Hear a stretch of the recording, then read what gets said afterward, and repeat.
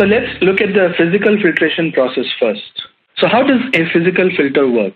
There are two primary processes that we'll look at. One is surface filtration, wherein the particles are retained at the surface of any filter, and you know over a period of time, uh, there is a layering or caking of the particles on the surface of the filter.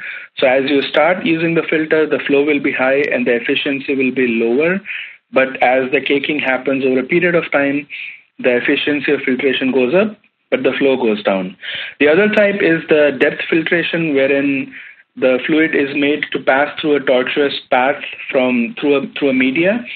The particles are retained back in the media, and the fluid passes through. Uh, obviously, because of the tortuous path, the uh, the f- rate of flow of the fluid will be lower, but the efficiency will be very high to begin with.